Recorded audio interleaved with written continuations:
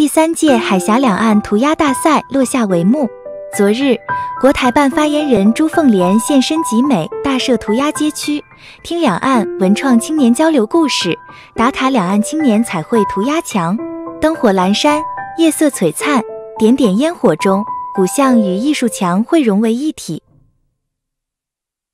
走在青石板老街上，朱凤莲认真听取每一幅墙绘的创作故事，并在海峡一日游等画作前打卡。他表示，涂鸦作为一种艺术载体，可以增进两岸青年交流、同吃同住同创作的方式，让青年们在交流过程中加深了解，获得共鸣。他也建议，可以将策划方案再深入，让两岸少年也加入到墙绘艺术交流中，辅以研学方式，以艺会友，增加两岸青年的互动和体验性，做大涂鸦墙绘，美化两岸共同家园。